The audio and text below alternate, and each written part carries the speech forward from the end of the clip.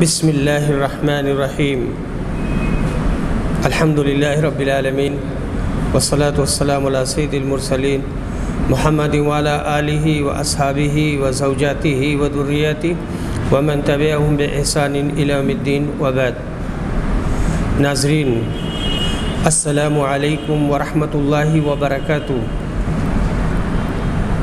हदीस नंबर तीन हज़ार पाँच सौ ग्यारह अब्दुल्ला बिन उमर रिवायत करते हैं कि मैंने रसूल सल्लल्लाहु अलैहि वसल्लम से सुना, आप मिंबर पर फरमा रहे थे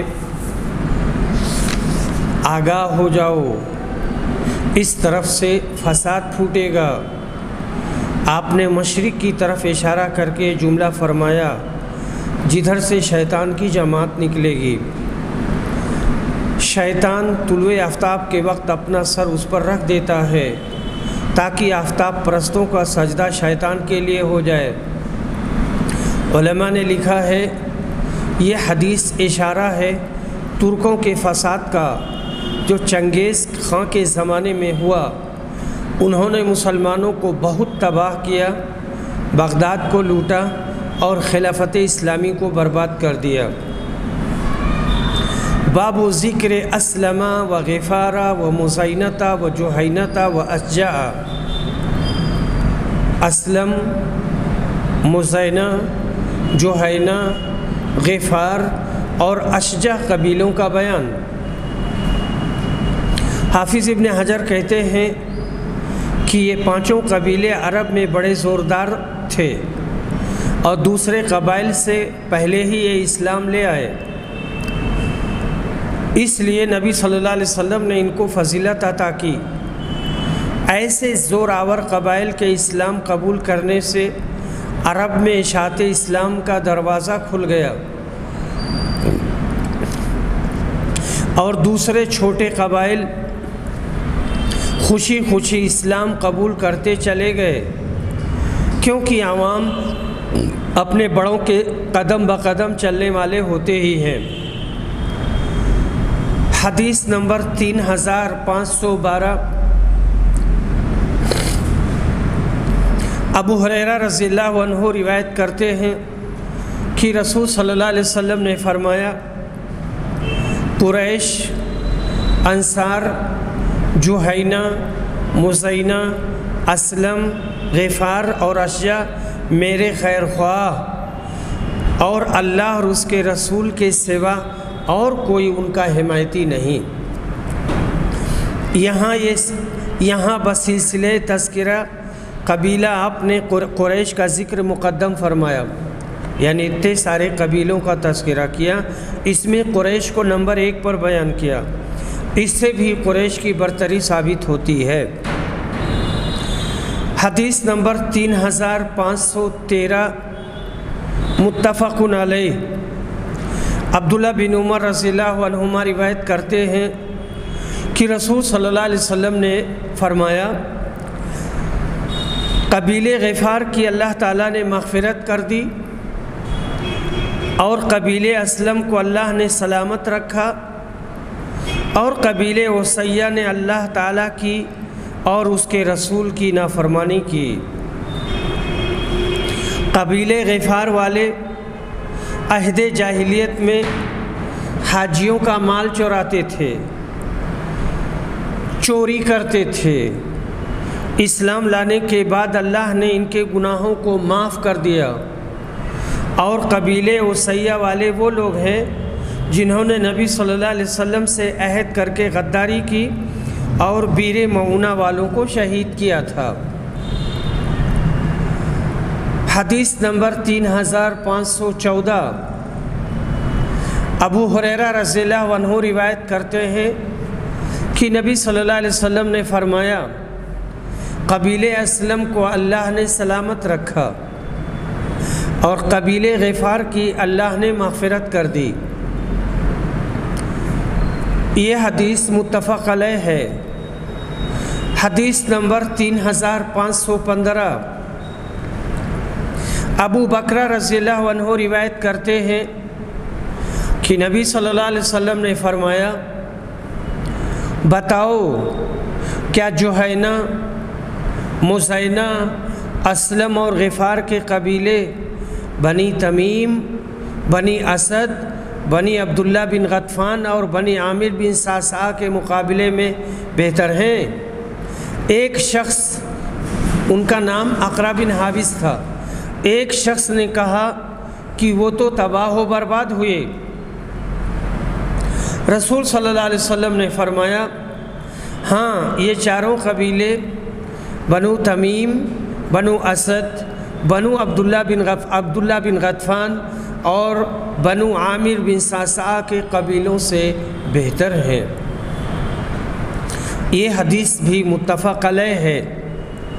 जाहिलियत के ज़माने में जुहैना, मुजैना, असलम व गफ़ार के कबीले बनु तमीम, बनी असद, बनी अब्दुल्ला बनी गतफ़ान और बनी आमिर बिन सासा वग़ैरह कबीलों से कम दर्जा के समझे जाते थे।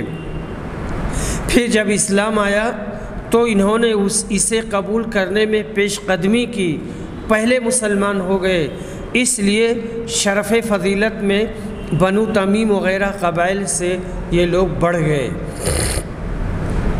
हदीस नंबर तीन हज़ार पाँच सौ सोलह। अब्दुलरहमान बिन अबी बकरा अपने वालिद अबू बकरा से रिवायत करते हैं कि अकरा बिन हाबिस ने नबी सल्लल्लाहु अलैहि वसल्लम से कहा कि आपसे उन लोगों ने बैत की है जो हाजियों का सामान चुराया करते थे। यानी असलम और गफ़ार मुजैना के लोग। और उसके बाद में यहाँ पर दूसरी सनद है। दूसरी सनद से आपने फरमाया, बतलाओ, असलम, गफ़ार, मुजैना, और मैं समझता हूँ जोहैना को भी कहा, ये चारों कबीले, बनी तमीम, बनी आमिर और असद और गतफ़ान से बेहतर नहीं हैं। क्या ये मौखर ज़िक्र ख़राब और बर्बाद नहीं हुए? अकरा ने कहा हाँ। आपने फरमाया, कसम है उस ज़ात की जिसके हाथ में मेरी जान है, ये उनसे बेहतर है। हदीस नंबर तीन हज़ार पाँच सौ सोलह मुतफ़न अलई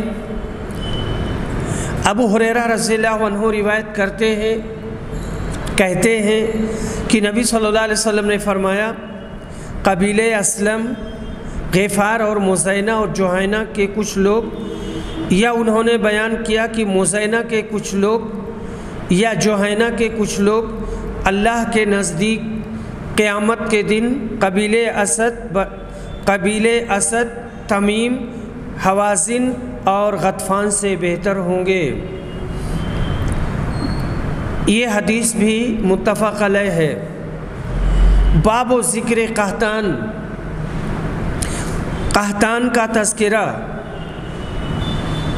अबू हुरैरा अन्हु रिवायत करते हैं कि नबी सल्लल्लाहु अलैहि वसल्लम ने फरमाया, क़यामत उस वक्त तक कायम न होगी जब तक कि कबीले कहतान में एक ऐसा शख्स पैदा नहीं होगा जो लोगों पर अपनी लाठी के ज़ोर से हुकूमत करेगा।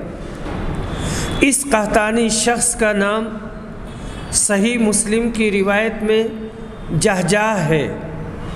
कहते हैं कि ये कहतानी हज़रत इमाम मेहदी के बाद निकलेगा और उन्हीं के कदम ब कदम चलेगा। बाब मायून मिन दावतिल जाहिलिया। जाहिलियत की सी बातें करना मना है। हदीस नंबर तीन हज़ार पाँच सौ अट्ठारह हज़रत जाबिर कहते हैं कि हम नबी सल्लल्लाहु अलैहि वसल्लम के साथ जिहाद में शरीक थे। महाजरीन बड़ी तादाद में आपके पास जमा हुए। वजह यह हुई कि महाजरीन में एक साहब थे, बड़ी दिल लगी करने वाले और बड़े मिजाहिया टाइप के थे। उन्होंने एक अंसारी की सुरीन पर ज़रब लगाई। अंसारी बहुत गुस्सा हुए। उसने अपनी बिरादरी वालों को मदद के लिए पुकारा और नौबत यहाँ तक पहुँची कि इन लोगों ने अंसार इन लोगों ने कहा, यानी अंसारी ने, आए कबाइल अंसार, मदद को पहुँचो। हाय अंसारियों, दौड़ो। और महाजरीन ने कहा, हाय मुहाजिरीन, पहुँचो, दौड़ो। ये गुल सुनकर नबी सल्लल्लाहु अलैहि वसल्लम खेमा से बाहर तशरीफ़ लाए और कहा, क्या बात है? ये जहलीत की पुकार कैसी है? आपके सूरत हाल दरियाफ़्त करने पर महाजिर सहाबी के अंसारी सहाबी को मार देने का वाक़ बयान किया गया। तो आपने फरमाया, इसी जाहिलियत की नाबात की नापाक बातें छोड़ो। और अब्दुल्ला बिन उबई बिन सलूल ने कहा, ये मशहूर मुनाफिक है कि ये महाजरीन अब हमारे ख़िलाफ़ अपनी कौम वालों को दुहाई देने लगे। मदीना पहुंचकर हम समझ लेंगे। इज़्ज़तदार जलील को यकीनन बाहर निकाल कर निकाल देगा। हज़रत उमर ने इजाज़त चाही और कहा, अल्लाह के रसूल, हम इस नापाक गंदे अब्दुल्ला बिन उबई को कत्ल क्यों न कर दें? आपने कहा, ऐसा नहीं होना चाहिए कि लोग कहेंगे कि मोहम्मद अपने लोगों को कत्ल करना शुरू कर दिए हैं, मोहम्मद अपने लोगों को कत्ल की कर दिया करते हैं। गो अब्दुल्ला बिन अभी अब्दुल्ला बिन ओबई मुनाफिक था, मगर ज़ाहिर में मुसलमानों में शरीक रहता। इसलिए आपको ये ख्याल हुआ कि इसके कत्ल से ज़ाहिर भी लोग, जो असल हकीकत से वाकिफ़ नहीं हैं, ये कहने लगेंगे कि पैगंबर अपने ही लोगों को कत्ल कर रहे हैं। और जब ये मशहूर हो जाएगा तो दूसरे लोग इस्लाम कबूल करने में तामुल करेंगे, हिचकिचाएँगे।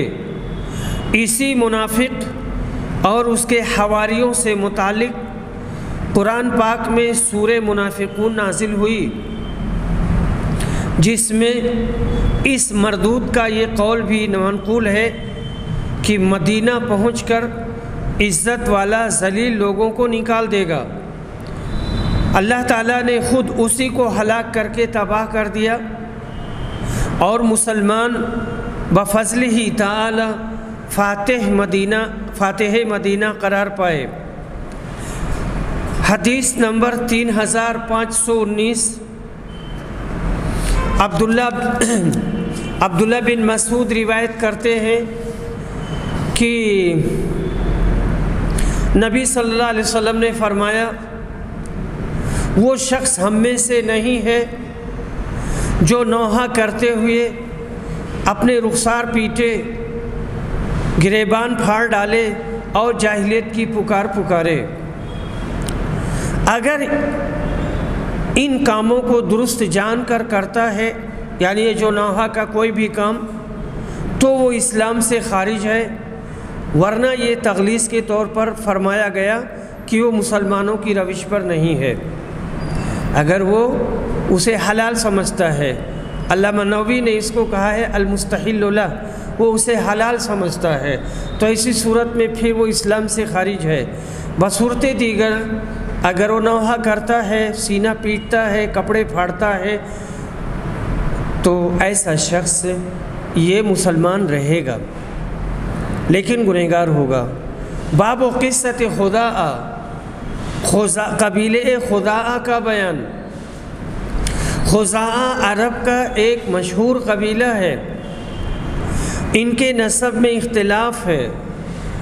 मगर इस पर इत्तेफाक है कि वो अम्र बिन लोहई की औलाद है। इनका चचा असलम था, जो कबीले असलम का जद आला है।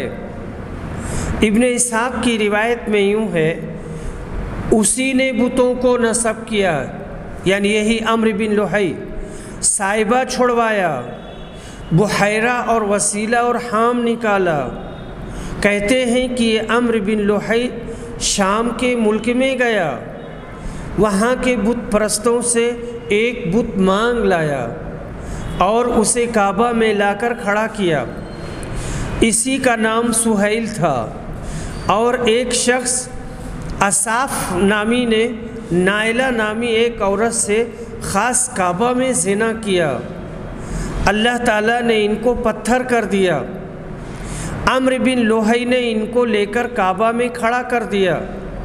जो लोग काबा का तवाफ़ करते और असाफ के बोसे से शुरू करते और नायला के बोसे पर ख़त्म करते, बाज़ कहते हैं, एक शैतान जो अबू सोमामा नामी अम्र बिन लुहई का रफ़ीक था और उनका दोस्त था। इसने अम्र बिन लुहई से कहा कि जद्दा जाओ, वहाँ से बुत उठा लाओ और लोगों से कहो कि वो उनकी पूजा किया करें। वो जद्दा गया, वहाँ इन बुतों को पाया जो हज़रत इदरीस और हज़रत नूह के ज़माने में पूजे जाते थे।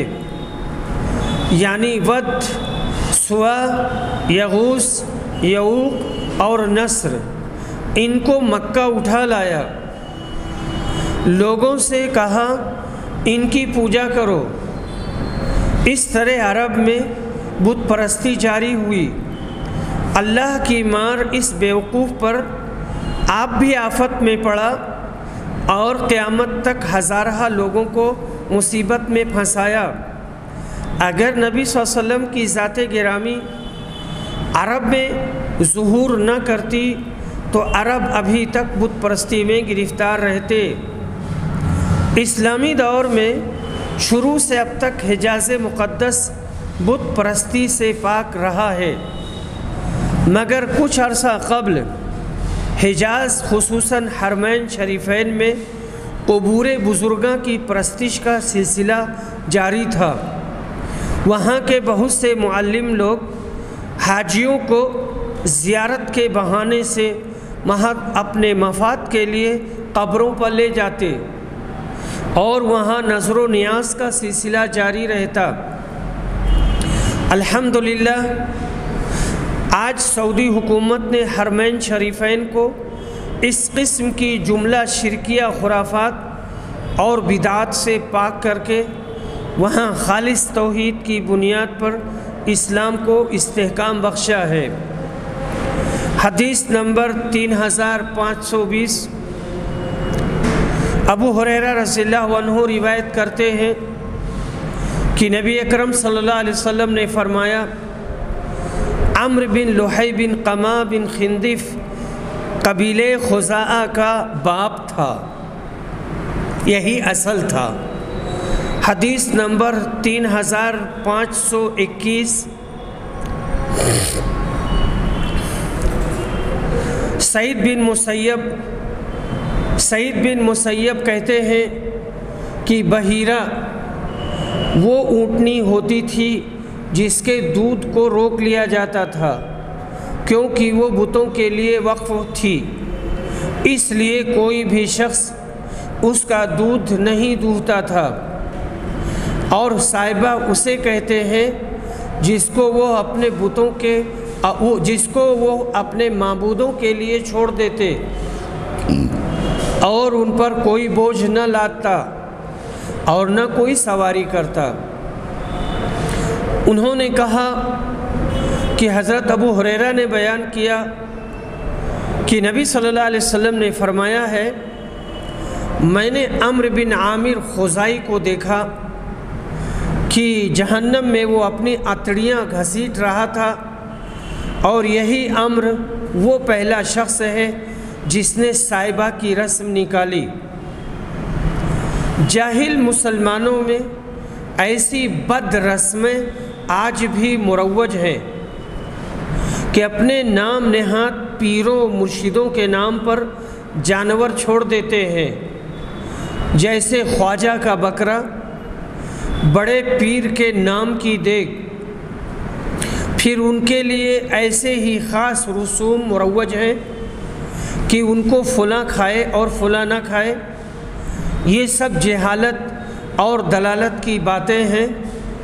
अल्लाह पाक ऐसे नाम नहाद मुसलमानों को नेक समझ अता करे कि वो कुफार की इस तकलीद से बाज आ जाए। बाब क़िस्सत इस्लाम अबी दर्रिन, बाब क़िस्सत जमज़म। अबू ज़र गफ़ारी रदी अल्लाह के इस्लाम का बयान और जमज़म का वाक़ बाज़ नुस्खों में यूँ है बाब क़िस्सत इस्लाम अबी ज़र अलगफ़ारी। और यही मुनासिब है, क्योंकि सारी हदीस में इनके मुसलमान होने का किस्सा मजकूर है।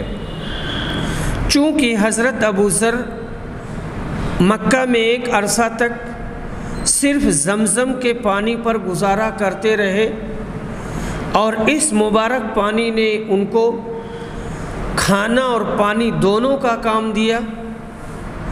इस अहमियत के पेश नज़र बाब, बाबो क़िस्सत जमज़म का बाब मुनद किया गया। दर हकीकत, जमज़म के पानी पर इस तरह गुजारा करना हज़रत अबूज़र की ज़िंदगी का एक अहम तरीन वाक़ है। बाज़ रिवायत में है कि वो इस तरह जमज़म पीने से खूब मोटे ताज़े हो गए थे, पेट में बटें पड़ गई थीं। फिल वाक़ अल्लाह ताला ने इस मुक़दस पानी में यही तासीर रखी है।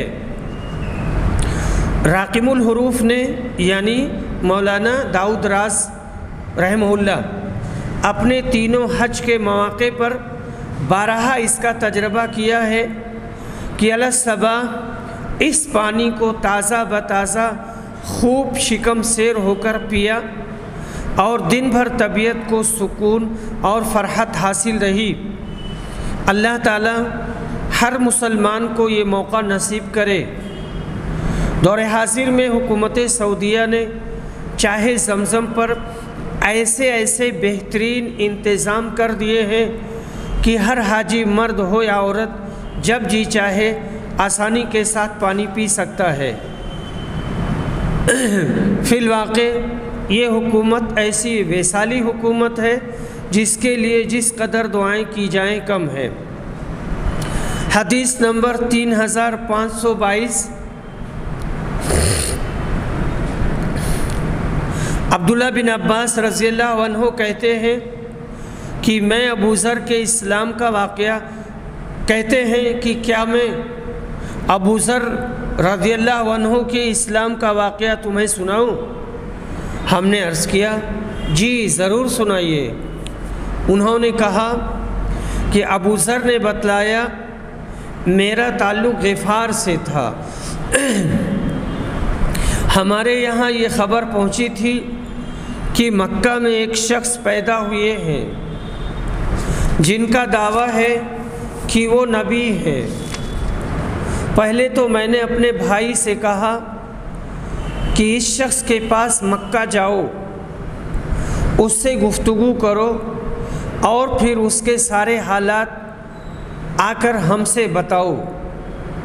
चुनानचे मेरे भाई खिदमत नबवी में हाजिर हुए और नबी वसल्लम से मुलाकात की और वापस आ गए। मैंने पूछा, क्या ख़बर लाए?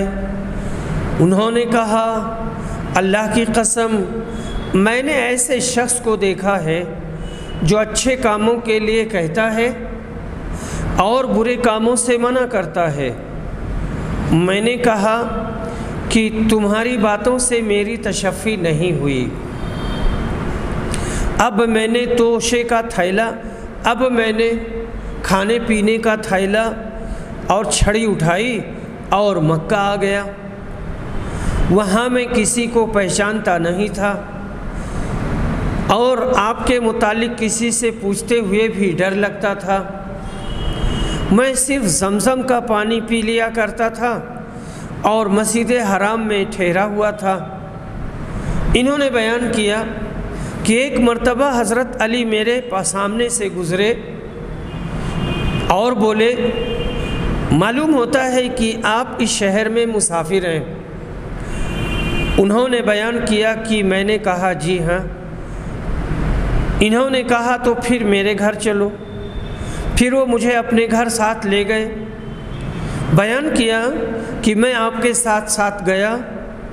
न उन्होंने कोई बात पूछी और न मैंने कुछ कहा। सुबह हुई तो मैं मस्जिद हराम में वापस आ गया। ताकि नबी सल्लल्लाहु अलैहि वसल्लम के बारे में किसी से पूछूँ।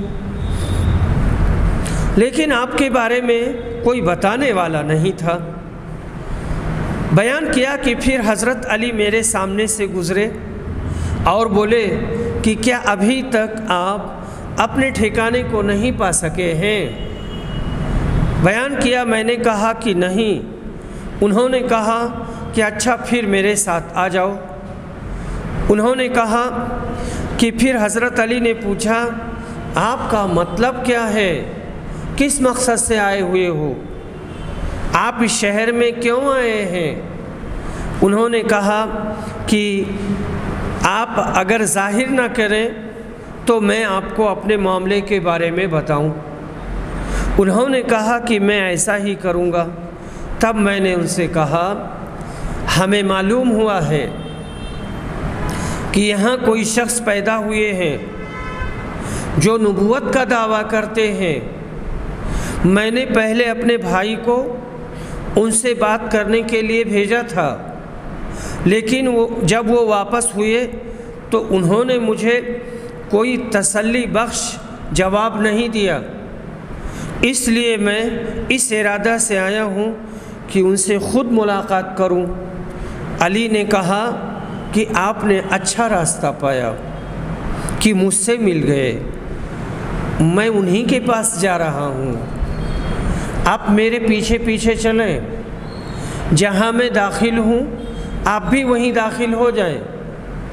अगर मैं किसी ऐसे आदमी को देखूँगा जिससे आपके बारे में मुझे ख़तरा होगा तो मैं किसी दीवार के पास खड़ा हो जाऊँगा गोया कि मैं अपना जूता ठीक कर रहा हूँ। उस वक्त आप आगे बढ़ जाएँ, चुनानचे वो चले।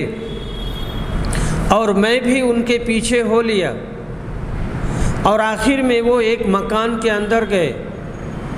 और मैं भी उनके साथ नबी अकरम सल्लल्लाहु अलैहि वसल्लम की खिदमत में अंदर दाखिल हो गया। मैंने नबी सल्लल्लाहु अलैहि वसल्लम से कहा कि इस्लाम के उसूल और अरकान मुझे समझा दीजिए और बता दीजिए। आपने मेरे सामने उनकी वजाहत फरमाई। तफसील सुनने के बाद कहते हैं, और मैं मुसलमान हो गया। फिर आपने फरमाया अय अबू ज़र, इस मामले को अभी पोशीदा रखना और अपने शहर को चले जाना। फिर जब तुम्हें हमारे गलबा का हाल मालूम हो जाए, तब यहाँ दोबारा आना। मैंने अर्ज़ किया, उस ज़ात की कसम जिसने आपको हक के साथ मबूस फरमाया है, मैं तो इन सब के सामने इस्लाम के कलमे का ऐलान करूँगा। चुनानचे वो मस्जिद हराम में आए, क्रैश के लोग वहाँ मौजूद थे और कहा आए कुरैश की जमात, सुनो, मैं गवाही देता हूँ कि अल्लाह के अलावा कोई मबूद नहीं, और मैं गवाही देता हूँ कि मोहम्मद उसके बंदे और उसके रसूल हैं। कुरैशियों ने कहा, इस बद्दीन की खबर लो चुनानचे वो मेरी तरफ़ लपके और मुझे इतना मारा कि मैं मरने के करीब हो गया। इतने में हज़रत अब्बास आ गए और मुझ पर गिरकर मुझे अपने जिस्म से छुपा लिया और कुरैशियों की तरफ़ मुतवजह होकर कहा अरे नादानो कबीले गफ़ार के आदमी को कत्ल करते हो। गफ़ार से तो तुम्हारी तजारत भी है, और तुम्हारे काफ़िले भी इस तरफ़ से गुज़रते हैं। इस पर उन्होंने मुझे छोड़ दिया। फिर जब दूसरी सुबह हुई तो फिर मैं मस्जिद हराम में आया, और जो कुछ मैंने कल पुकारा था उसी को फिर दोहराया। कुरैशियों ने फिर कहा, पकड़ो इस बद्दीन को। जो कुछ उन्होंने मेरे साथ कल किया था, आज वो वही आज भी किया और ठोंक ठाक के पीट पाट के बराबर कर दिया। इत्तेफाक से अब्बास बिन अब्दुल मुत्तलिब आ गए और मुझ पर गिर गए। मुझे अपने जिस्म से उन्होंने छुपा लिया और जैसा उन्होंने कुरैशियों से कल कहा था, वैसा ही आज भी कहा। अब्दुल्ला बिन अब्बास ने कहा कि अबू ज़र के इस्लाम कबूल करने की इब्तदा इस तरह से हुई थी। कुरैश के लोग हर साल तजारत और सौदागरी के लिए मुल्क शाम जाया करते थे और रास्ता में मक्का और मदीना के दरमियान गफ़ार की कौम पड़ती थी। हज़रत अब्बास ने इनको डराया कि अगर इसको मार डालोगे तो सारी गफ़ार की कौम बरहम हो जाएगी और हमारी सौदागरी और आमद रफ्त में खलल हो जाएगा। हदीस नंबर तीन हज़ार पाँच सौ बाईस। इबन अब्बास रदी अल्लाह रिवायत करते हैं, कहते हैं कि जब अबू ज़र को रसूल सल्लल्लाहु अलैहि वसल्लम की नबूत के बारे में मालूम हुआ तो इन्होंने अपने भाई उनैस से कहा, मक्का जाने के लिए सवारी तैयार करो। और इस शख्स के मुतालिक जो नबी होने का मुद्दई है, और कहता है कि उसके पास आसमान से ख़बर आती है, मेरे लिए ख़बरें हासिल करके लाओ। उसकी बातों को खुद गौर से सुनना और फिर मेरे पास आना। उनके भाई वहाँ से चले और मक्का हाजिर होकर नबी सल्लल्लाहु अलैहि वसल्लम की बातें खुद सुनी। फिर वापस होकर उन्होंने अबू ज़र रज़ी को बताया कि मैंने उन्हें खुद देखा है। वो अच्छे अखलाक का लोगों को हुक्म करते हैं। और मैंने उनसे जो कलाम सुना, वो शेर नहीं है। इस पर अबू ज़र रज़ी ने कहा, जिस मकसद के लिए मैंने तुम्हें भेजा था, मुझे उस पर पूरी तरह तशफ़ी नहीं हुई। आखिर उन्होंने ख़ुद तोशा बांधा, पानी से भरा एक पुराना मशकेज़ा साथ में लिया और मक्का आए। मस्जिदुल हराम में हाज़िरी दी। और नबी सल्लल्लाहु अलैहि वसल्लम को तलाश किया। अबू ज़र नबी सल्लल्लाहु अलैहि वसल्लम को पहचानते नहीं थे और किसी से आपके मुतालिक पूछना भी मुनासिब नहीं समझते थे। कुछ रात गुज़र गई कि वो लेटे हुए थे। हज़रत अली ने इनको इस हालत में देखा और समझ गए कि कोई मुसाफिर है। अली ने इनसे कहा कि आप मेरे घर पर चलकर आराम कीजिए। अबू ज़र उनके पीछे पीछे चले गए। लेकिन किसी ने एक दूसरे के बारे में बात नहीं की। जब सुबह हुई तो अबू ज़र ने अपना मशकेज़ा और तोशा उठाया और मस्जिद हराम में आ गए। ये दिन भी यूँ ही गुज़र गया और वो नबी अकरम को न देख सके। शाम हुई तो सोने की तैयारी करने लगे। अली फिर वहाँ से गुज़रे और समझ गए कि अभी अपने ठिकाने जाने का वक्त इस शख्स पर नहीं आया। वो उन्हें वहाँ से फिर अपने साथ ले आए और आज भी किसी ने एक दूसरे से बातचीत नहीं की।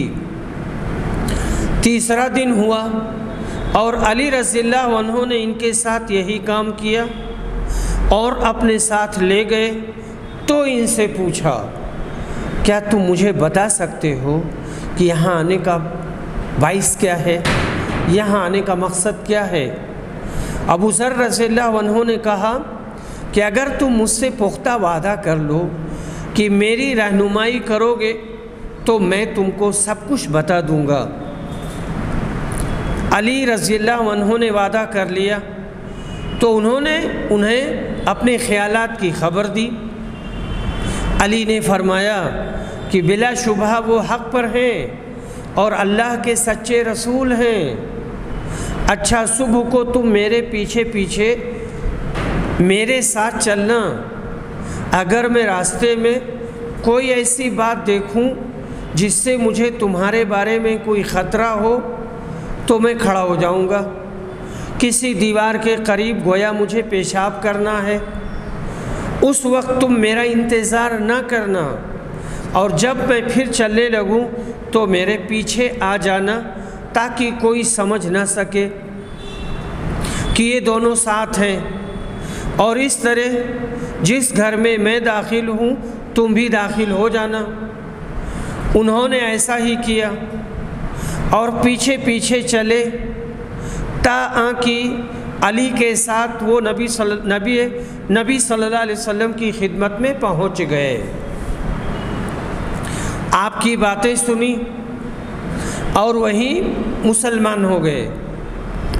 फिर नबी सल्लल्लाहु अलैहि वसल्लम ने इनसे कहा, अब आप अपनी कौम गफ़ार में वापस जाओ। यानी अब तुम अपनी कौम में वापस जाओ और उन्हें मेरा हाल बताओ। ता कि जब हमारा गलबा, जब हमारे गलबा का इल्म तुमको हो जाए तो फिर हमारे पास आ जाना। अबू ज़र ने कहा, उस ज़ात की कसम जिसके हाथ में मेरी जान है, मैं इन कुरशियों के मजमा में पुकार कर कलम तोहद का ऐलान करूँगा।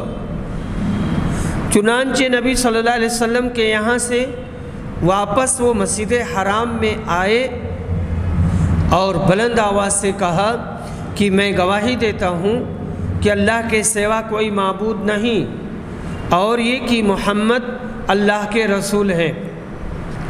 ये सुनते ही सारा मजमा टूट पड़ा और इतना मारा कि ज़मीन पर लेटा दिया। इतने में अब्बास आ गए और अबू ज़र के ऊपर अपने को डालकर कुरैश से कहा, अफसोस, क्या तुम्हें मालूम नहीं कि ये शख्स कबीले गफ़ार से है? और शाम जाने वाले तुम्हारे ताजिरों का रास्ता इधर ही से पड़ता है। इस तरह से उनसे उनको बचाया। फिर अबू ज़र दूसरे दिन मस्जिदुल हराम में आए और अपने इस्लाम का इजहार किया। कौम बुरी तरह इन पर टूट पड़ी और मारने लगे। इस दिन भी अब्बास इन पर ऊँधे पड़ गए और इनको बचा लिया। बाब जहलिल अरब। अरब कौम की जहालत का बयान। इस्लाम से पहले अहले अरब बहुत सी जहालतों में मुबतला थे। इसलिए इस दौर को दौर जाहिलियत से ताबीर किया गया है। यहाँ इस बाब के झैल में इनकी कुछ ऐसी ही जहालतों का ज़िक्र किया जा रहा है। असल में जहाला, अलजहाला, हर वो चीज़ जो इस्लामी शरीयत के ख़िलाफ़ हो, उसे जाहिलिया कहते हैं और अज़मन कबल इस्लाम इस्लाम से पहले के ज़माना को भी जाहिलिया कहा जाता है, क्योंकि उनके अंदर कसरत से जहालत पाई जाती थी। हदीस नंबर तीन हज़ार पाँच सौ तेईस। अबू हुरैरा वन्हु रिवायत करते हैं कि नबी सल्लल्लाहु अलैहि वसल्लम ने फरमाया कबीले असलम, गफ़ार और मुजैना और जोहैना के कुछ लोग या मुजैना के कुछ लोग, या जोहैना के कुछ लोग अल्लाह ताला के नज़दीक क़यामत के दिन कबीले असद, तमीम, हवाजिन और गतफ़ान से बेहतर होंगे। हदीस नंबर तीन हज़ार पाँच सौ चौबीस। अब्दुल्ला बिन अब्बास रदील्ला रिवायत करते हैं कि अगर तुमको अरब की जहालत मालूम करना अच्छा लगे तो सूर अनाम में 130 आयतों के बाद ये आयतें पढ़ लो।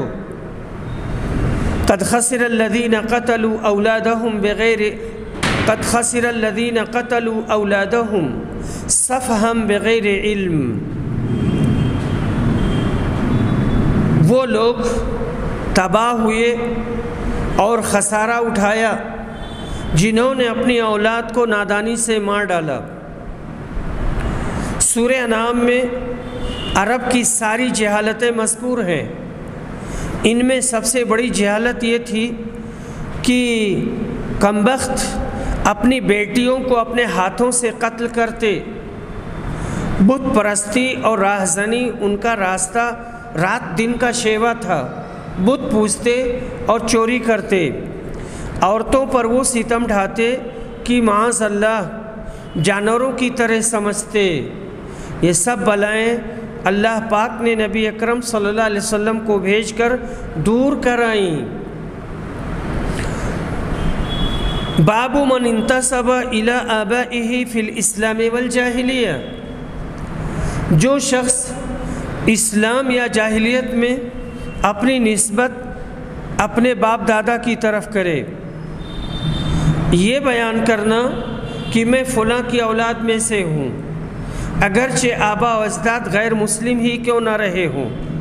मगर ऐसा बयान करना जायज़ है। ये इस्लाम की वो ज़बरदस्त अखलाक़ी तालीम है, जिस पर मुसलमान फ़ख्र कर सकते हैं। हिंदुस्तान की बेशतर कौमें नौ मुस्लिम है। वो भी अपने गैर मुस्लिम आबा अजदाद का ज़िक्र करें तो शरान इसमें कोई कबाहत नहीं है। बशर्ते कि ये ज़िक्र हदूद शरई के अंदर हो। अब्दुल्ला बिन उमर और अबू हुरैरा कहते हैं कि नबी सल्लल्लाहु अलैहि वसल्लम ने फरमाया, करीम बिन करीम बिन करीम बिन करीम, यूसुफ बिन याकूब बिन इसहाक बिन इब्राहिम बिन इब्राहिम खलीलुल्लाह थे। और बरा इबन आसिब ने कहा कि नबी सल्लल्लाहु अलैहि वसल्लम ने फरमाया, मैं अब्दुल मुत्तलिब का बेटा हूँ। नबी सल्लल्लाहु अलैहि वसल्लम ने अपने आप को अब्दुल मुत्तलिब की तरफ़ मंसूब किया। इससे बाप का मतलब साबित हुआ कि अगर बाप दादाओं में, अब अगर बाप दादाओं में लोग मुसलमान नहीं हैं, फिर भी उनकी तरफ़ अपनी नस्बत कर सकते हैं और कह सकते हैं कि मैं फ़लाँ का बेटा हूँ। हदीस नंबर तीन हज़ार पाँच सौ पच्चीस। इबन अब्बास रज़ील्ला रिवायत करते हैं कि जब ये आयत उतरी, व अनसर अशीरतकल अकरबीन ए रसूल, तुम अपने करीबी रिश्तेदारों को डराओ। तो नबी सल्लल्लाहु अलैहि वसल्लम ने कुरैश के मुख्तलिफ़ कबीलों को बुलाया अय बनी फ़हर अय बनी आदि जो कुरैश के ख़ानदान के थे। और हदीस नंबर तीन हज़ार पाँच सौ छब्बीस वकाल लना कबीसा।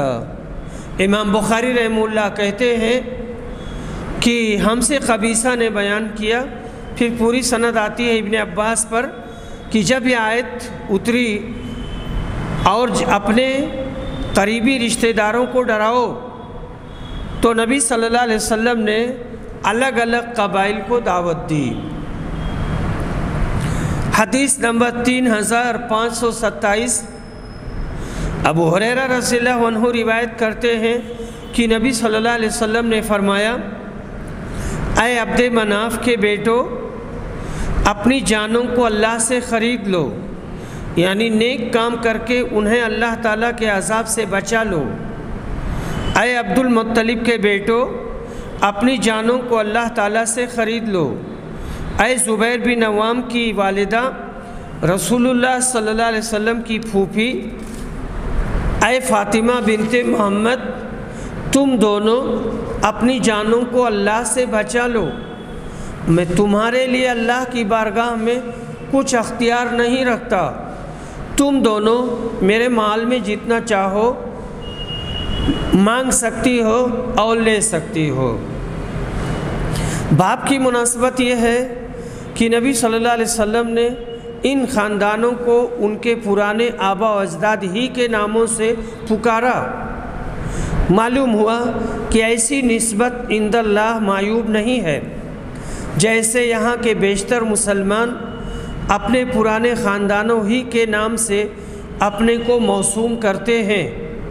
दूसरी रिवायत में यूँ है अय आयशा अय हफ्सा अय उम्म सलमा अय बनी हाशिम, अपनी अपनी जानों को दोजख से छुड़ाओ। मालूम हुआ कि अगर ईमान ना हो तो पैगंबर अलैहिस्सलाम की रिश्तेदारी क़यामत में कुछ काम नहीं आएगी।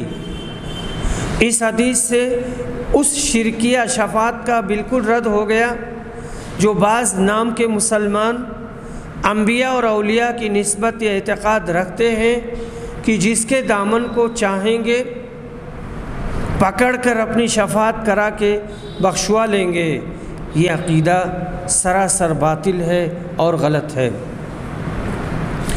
बाबुन इब्न उख्तिल कौमी व मौल कौमी मिनहुम।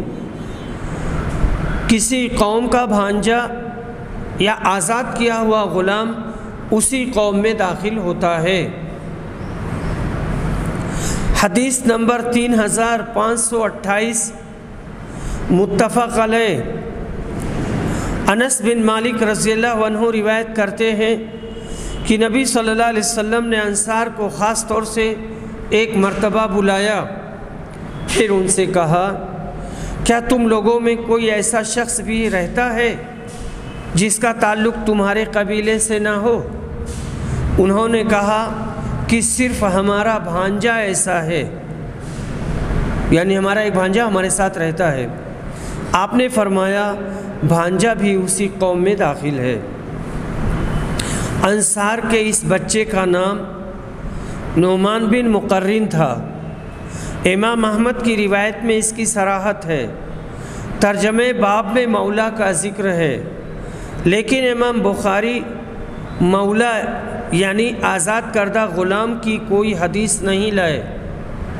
बाज़ ने कहा, इन्होंने मौला के बाब में कोई हदीस अपनी शर्त पर नहीं पाई होगी। हाफिज़ ने कहा यह सही नहीं है, क्योंकि इमाम बुखारी ने फ़राइज़ में यह हदीस निकाली है और रिवायत की है कि किसी कौम का मौला भी उन्हीं में दाखिल है।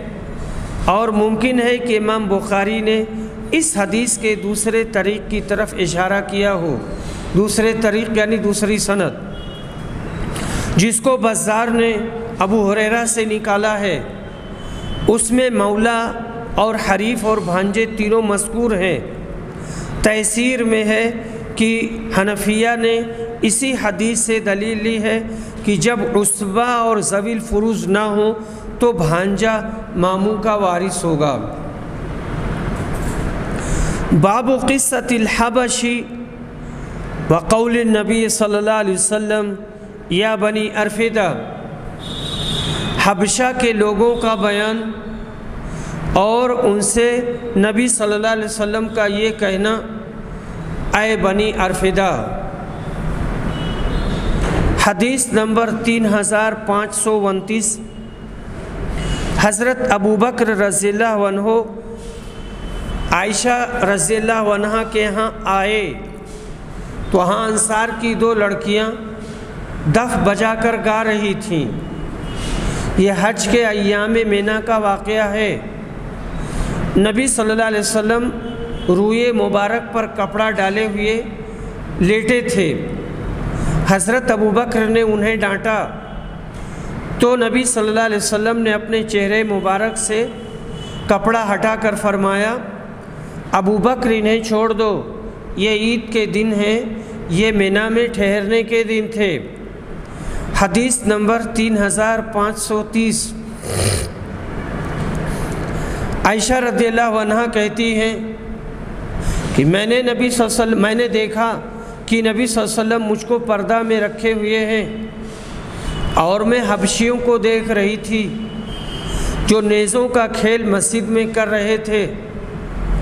हज़रत उमर ने उन्हें डांटा। लेकिन नबी वसल्लम ने फरमाया, इन्हें छोड़ दो, बनी अरफेदा, तुम बेफिक्र होकर खेलो। ये हदीस इस बाब में मौसूलन मस्कूर है। अरफेदा हबशियों के जद्द आला का नाम था। हबश, हबशी, हबश बिन कोश बिन हाम बिन नू, नौ की औलाद में से हैं। एक ज़माना में ये सारे अरब पर गालिब हो गए थे और उनके बादशाह अब्रहा ने काबा को गिरा देना चाहा था।